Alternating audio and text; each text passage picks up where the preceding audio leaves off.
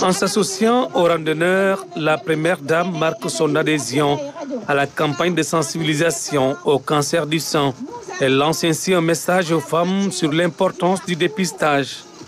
La présidente de l'association Cancer du sang Sénégal porte sa voix.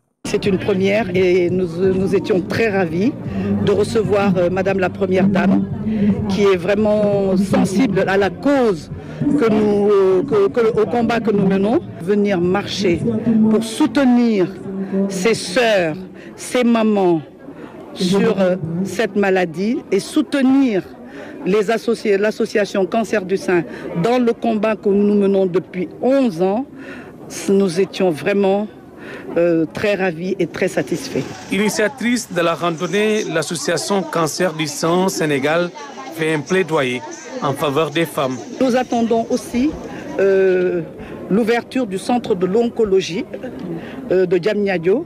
Euh, qui serait aussi euh, un, un, grand atout pour la prise en charge des cancers au Sénégal. Il y a un préalable à, la, à, la, à, la, à cette gratuité-là, c'est le bilan d'extension.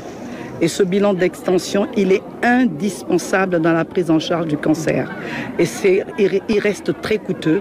C'est pas moins de 400 à 500 000 francs. Raison pour laquelle cette année, nous avons lancé euh, une campagne Mousseau Rose euh, dont l'objectif est de récolter des fonds pour aider ces femmes-là. Les facteurs de risque du cancer du sang, c'est le thème de cette septième édition, rehaussée par la présence de la première dame. Les organisateurs lui ont d'ailleurs offert quatre modèles de moussoir ou voile rose pour la remercier.